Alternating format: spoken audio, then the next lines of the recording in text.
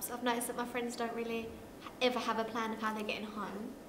They just sort of wait till the end of the night, maybe call a cab, or I've known some people just to walk home, get in a cab with people they don't even know.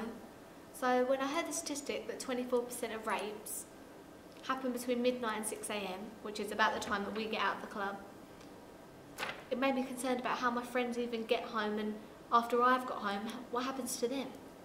How do they manage to get home? So I took my camera out and tried to record everything that happens on a Thursday night in my hometown, and uh, this is what happened.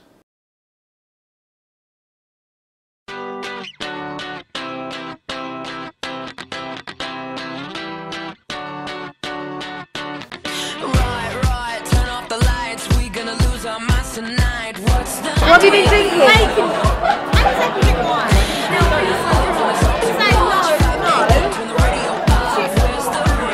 No, no! Get off get off phone.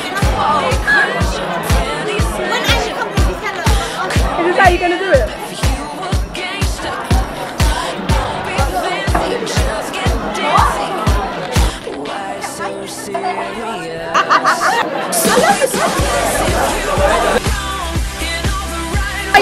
Don't be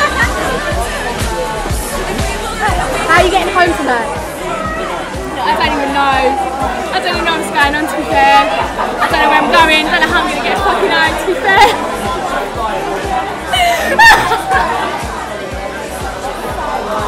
Well, you getting a cab or you walking? You know what? They'll just, I'll just find out later.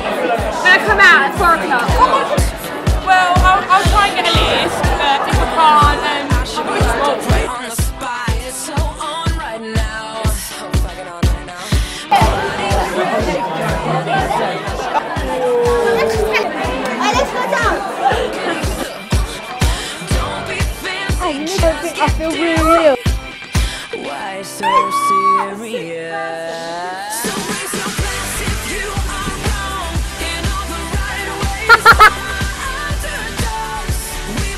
be, never be anything but loud.